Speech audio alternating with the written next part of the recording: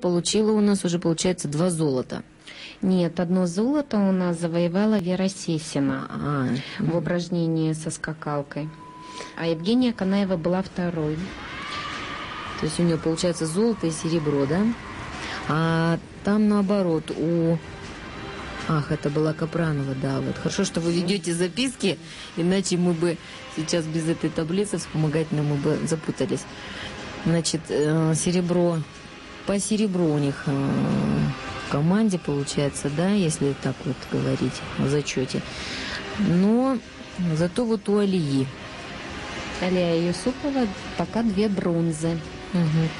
Но я бы Достаточно сказала... высокий результат. Все-таки напомним, что это Кубок мира. Мгм.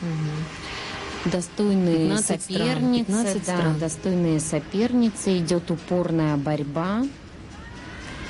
И я должна заметить, что вот для телезрителей иной раз вот кажется им, что бронза это мало, но на самом деле вот то, что два, две бронзы, а не золото и бронза, допустим, там и так далее, да, вот то, что две бронзы, это говорит о стабильности, да, а стабильность это признак Признак мастерства. мастерства. Да, мы с вами буквально в один голос.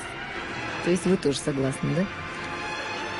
Вот, а сейчас свое мастерство нам показывают девушки из сборной Казахстана, и, как мы можем видеть по зрителям, произвели достойное впечатление. На самом в деле, потому что- упражнениях выполняют упражнения с обручем и с булавами. Как я вот как раз вам уже рассказывала, что на Олимпиаде разыгрывается два комплекта медалей. Это многоборье и комплект медалей в групповых упражнениях. Именно поэтому в Казахстане активно развивается Ну и потом это все-таки массовость, это охват.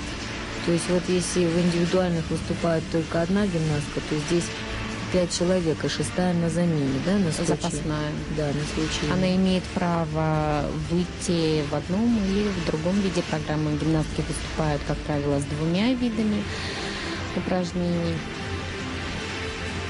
Гимнастки активно тренируются, проходят учебно-тренировочные сборы. Напоминаю нашим телезрителям, готовятся для выступлений на чемпионате мира 2009 года.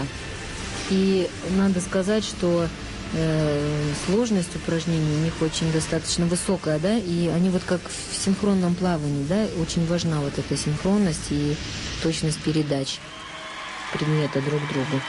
Хочется сказать, что нашу команду отметили специалисты.